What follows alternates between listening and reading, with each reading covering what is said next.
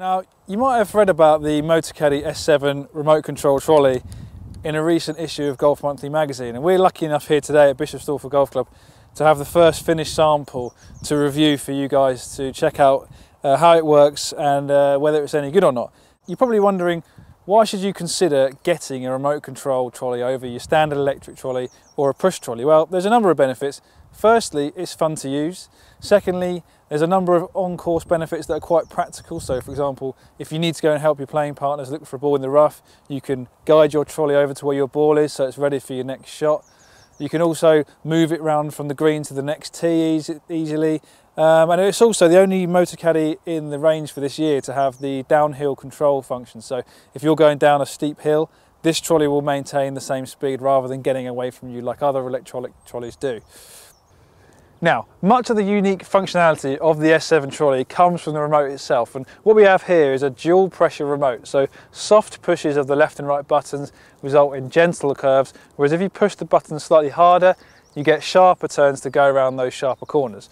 Uh, you've obviously got your forward and back, so your plus and minus, the, the more you press the forward button, the quicker the trolley will go, and vice versa. When you hit the minus button, it will slow down, but it can also go in reverse as well. Um, what we also have here is the pause and resume button. So when you're coming up to ball, you press your pause button, you play your shot, and then you come back to your remote, press the resume button, and the trolley will gently accelerate up to the speed it was at before. So there's no need to get back to it uh, manually, it'll automatically do that for you.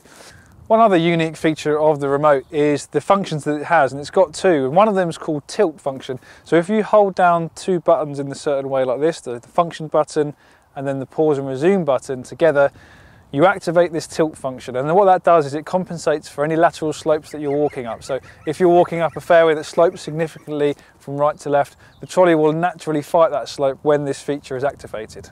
So moving on to the frame, some other features that are specific to use as a remote control trolley that are essential. We've got the anti-tip wheel here at the front, so if you're accelerating quickly or you're going uphill, the trolley won't tip over. We've also got this 360 degree self-righting wheel, which will always want to revert to straight, which is very useful.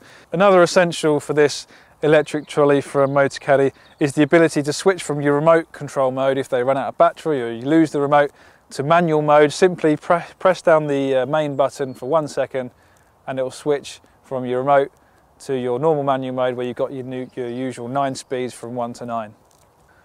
There are a few features that carry over from other S-series trolleys in the electric trolley range from Motocaddy.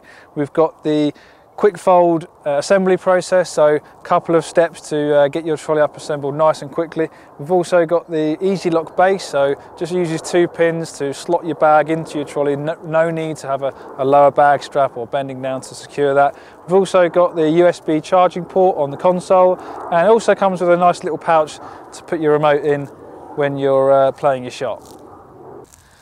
Moving down, the wheels on the Motocaddy S7 trolley are slightly wider and they've also got a deeper tread, so that's going to help you get round corners and maintain control, but also course friendliness at the same time. Now, the battery is an 18 hole lithium battery, that's the only one that is available with this.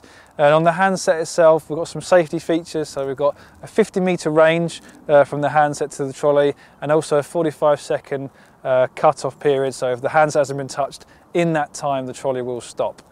Uh, one, other, one other feature is the trim function. So if your bag is unevenly weighted and the trolley doesn't veer, doesn't track straight as you'd like it to, you can trim the power to one of the wheels because uh, the wheels are run off separate motors and that will help the trolley track straighter.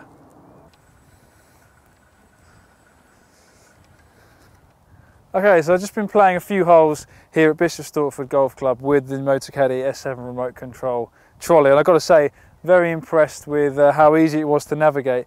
You know, it does take a few holes to get used to using that remote and not trying to manually turn the trolley like you do with your standard electric trolley, especially because the wheels have got a lot of tread and they, it is very difficult to turn.